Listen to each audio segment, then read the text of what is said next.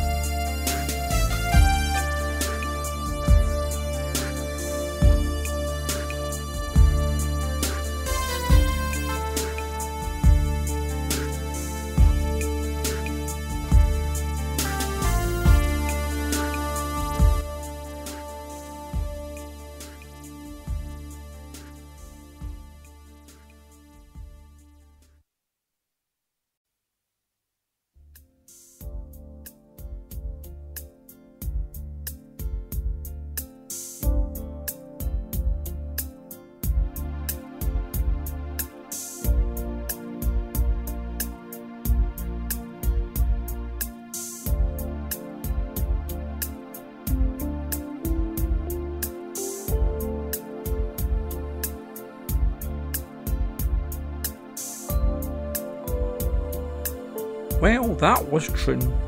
A nice enough wee place at the seaside. Sometimes everybody forgets it's here, which is handy for me then for the parking. So if you're nearby, don't go to Ayr again, give Troon a wee shot. As I look at the big clock on the wall, my ice cream is dripping, so until the next time, bye for now.